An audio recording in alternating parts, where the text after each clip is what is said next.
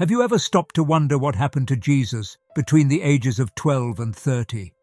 Or what happened to his disciples and mother after the crucifixion? What if I told you that Jesus travelled to places like England as a young boy? According to some ancient legends, he travelled with his wealthy uncle, Joseph of Arimathea, who was a successful trader. They say he didn't just stay in Israel, he journeyed to distant lands, learning from the greatest teachers of that time. The Bible doesn't contain this, but generations have passed down the stories. Following the crucifixion, the target group included Joseph, Mother Mary, and several disciples. There was a secret plan to get rid of them, quietly, without causing an uprising. The Romans didn't want to execute them outright, so instead they put them on a boat with no oars, no food, and no way to survive. They drifted on the Mediterranean Sea, doomed to perish. Instead of perishing, they somehow made it across the sea and arrived on the coast of France. It seems as though an unseen force guided them. This event is so miraculous, yet it's one of the greatest untold stories. Today, this place is known as Sainte Marie de la Mer, and it holds a special place in history, marking the legendary arrival of Jesus' family and followers in France. Once they reached France, the survivors split up, with some continuing their journey to other parts of Europe. Joseph of Arimathea in particular made his way to England. This wasn't entirely unexpected, as he had been involved in trade with England for years. Legends claim that Joseph brought the young Jesus along on his previous trips, leading to the establishment of the first Christian church outside of Israel in Glastonbury, England. People often place the founding of the world's first Christian community by Joseph and his followers around AD 63. Some argue that the early church's growing structure, which desired a centralized, controlled narrative, excluded these stories because they didn't fit. Joseph's journey to England didn't just spread the teachings of Jesus, it laid the foundation for the way, a system of gathering that was very different from what we now think of as a church. These early Christians didn't have grand cathedrals or strict hierarchies. They gathered in homes, sharing knowledge, meditating and healing. This was how Jesus taught them to live, freely and without centralized authority figures. They didn't even call the church in Glastonbury a church in the traditional sense. It was simply a place for people to come together and follow the way. Meanwhile, Mary Magdalene travelled to what is now France, where she is believed to have continued spreading Jesus' teachings.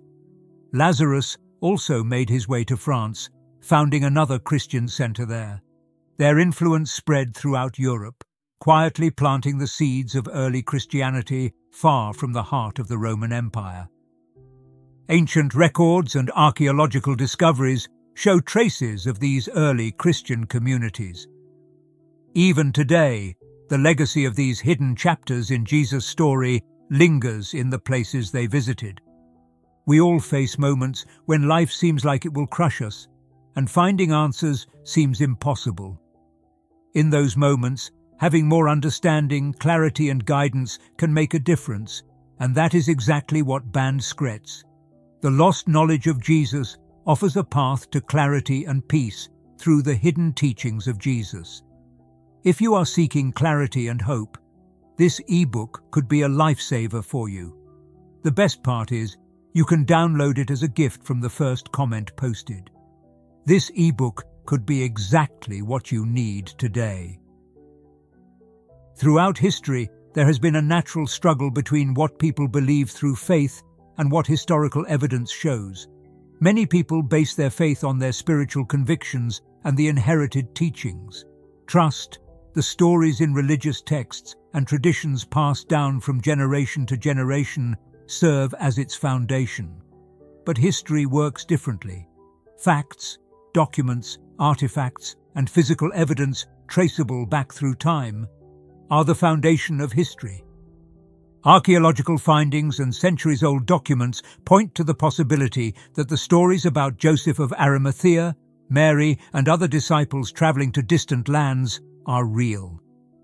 The early church, which formed after Jesus' death, had a huge responsibility. They had to create a unified message to spread Jesus' teachings to the world. And as the church became more organized, with popes and bishops and religious councils, they chose which stories to focus on and which ones to leave out. Their aim was to establish a distinct, unified story that would foster the growth of Christianity Yet this resulted in the omission of some stories, such as the expeditions to England and France. The official canon did not include these, leading to their near forgetfulness over time. But just because they aren't in the Bible doesn't mean they didn't happen. Historians have found references to these journeys in places you wouldn't expect. Ancient texts, regional legends, even songs from the people who lived in those areas long ago. In Glastonbury, for instance, there's a long-held tradition that Jesus once walked on those very lands. It's also said that Joseph of Arimathea built the first Christian church there, long before Christianity became the major religion it is today. These stories have endured through local culture and folklore, even though they aren't part of mainstream religious teachings. Faith often asks believers to accept the Bible as the complete story, while history continues to dig up new evidence that may challenge that understanding. However, we can view this conflict as an opportunity rather than a source of division. These new discoveries can unnerve individuals deeply rooted in their faith. It can be difficult to accept that the stories they've grown up with may not be the whole picture. But here's the thing Faith and history don't always have to be at odds. They can work together. History can provide context, filling in gaps and helping us better understand the time and place where these events took place. And faith can give meaning to those discoveries, showing how they fit into the broader spiritual journey. The life of Jesus, his disciples, and the people closest to him is filled with these untold secrets. Local legends, historical clues, and even ancient writings support some of these stories, which, despite not being part of the official narrative, suggest there's more to learn. It challenges the traditional ideas of how Christianity spread and grew. Instead of an organized religion led by a few powerful figures, these early followers practiced something much more fluid, where everyone had a voice. The more we delve into the past, the more we uncover the omissions, leaving us to piece together the fragments. The journey of Joseph and his companions is one of many examples of how much more we can learn about early Christianity. The first followers of Jesus didn't rely on priests, bishops or central figures to guide them. Instead, they practiced their faith in a decentralized manner, giving every believer a voice. This was the way, and it was far from the formalized church structures that developed later on.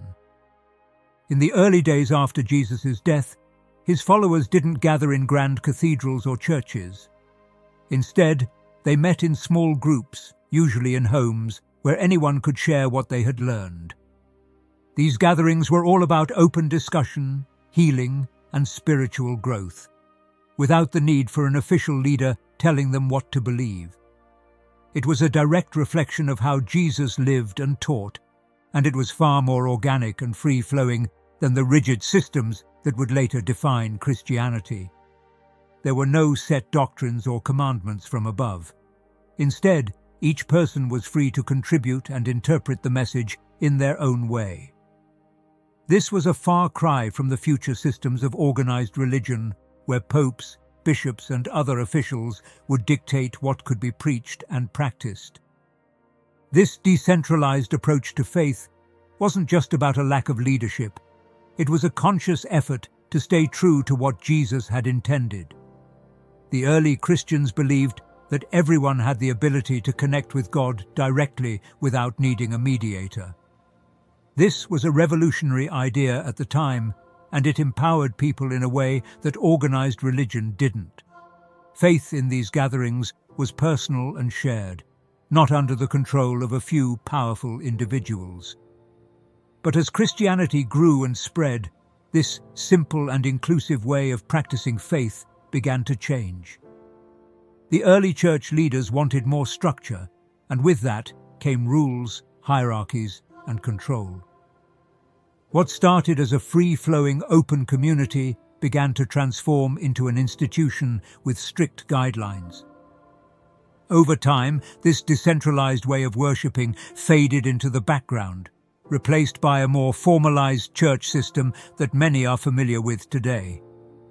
This shift wasn't just about organization, it was about power. With centralized authority, the church could control the message and ensure that everyone followed the same teachings. While this consolidation of power facilitated the growth of Christianity into a major religion, it also resulted in the marginalization of the individual voices and personal interpretations that had previously played a central role in the faith. High-ranking officials, who now controlled the teachings, no longer shared the message in small, intimate gatherings. The decentralization of religious authority wasn't just a style of worship. It was a philosophy that allowed people to explore their faith more freely. It gave believers the opportunity to question, to learn from one another, and to grow spiritually without fear of being wrong or out of line with official teachings. It was a dynamic, evolving form of faith, rooted in personal connection rather than rigid structure.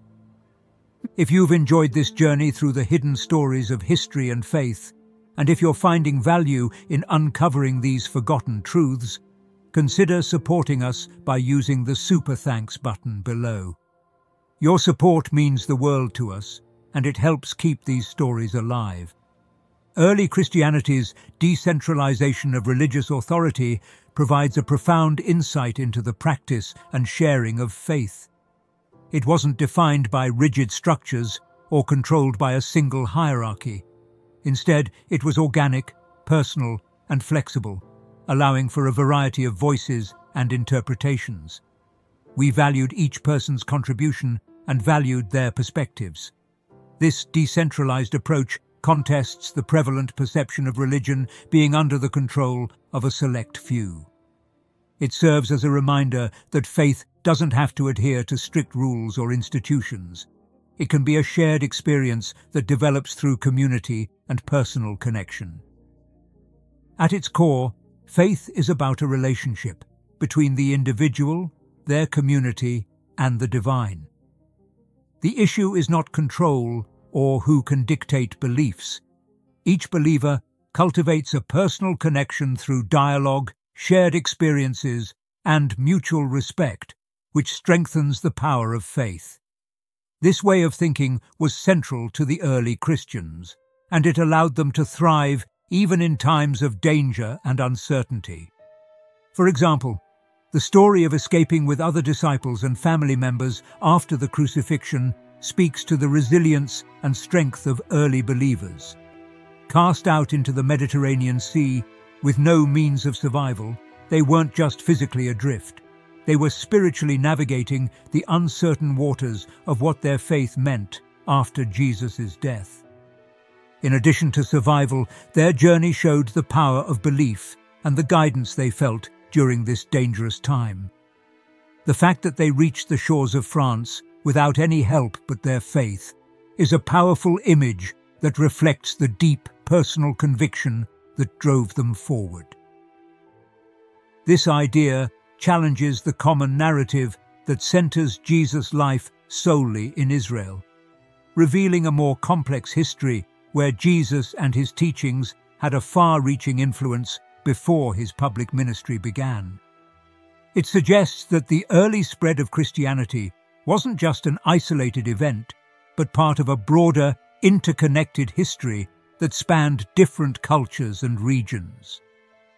Organized religion left these stories out of the Bible and overlooked them, but they offer a glimpse into a version of Christianity that is more intimate, more free-form, and perhaps even more aligned with the personal, spiritual journey that Jesus himself intended. The early Christians didn't need large institutions or formal rituals to connect with their faith.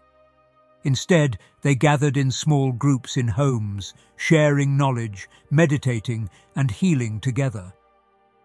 This was the way, a decentralized, open practice where every person had something to contribute. The idea that faith itself is deeply personal aligns with the decentralized nature of these early gatherings. Religious authorities did not impose a strict doctrine on them. Instead, it was about seeking answers together, asking questions, and continually uncovering deeper truths. In these groups, there was room for interpretation, for exploration, and for finding new insights that resonated with each individual's spiritual journey. This decentralized model of faith is something we can still learn from today. It reminds us that the pursuit of understanding and truth is an ongoing process, one that doesn't end with a single book or a set of rules. Instead, it invites us to keep seeking, keep questioning, and keep exploring the rich and complex history of our beliefs. The revelations that come from this exploration challenge us to view our faith in a different light, not as something fixed, but as something that grows and evolves as we discover more about ourselves and our spiritual heritage. In many ways, the decentralization of religious authority in early Christianity represents a return to the essence of faith. Fostering a deep, personal connection with the divine and each other was more important than power or control. The lessons we learn from these hidden stories, like those of Joseph of Arimathea and the early gatherings of believers, encourage us to embrace the idea that faith can be practiced in countless ways. The questions we pose today are the key to unlocking the truths of tomorrow. These hidden chapters of early Christianity don't just change how we view the past, they help us rethink what faith means to us in the present. Thanks for watching. Be part of our community by subscribing to this channel. Until the next video.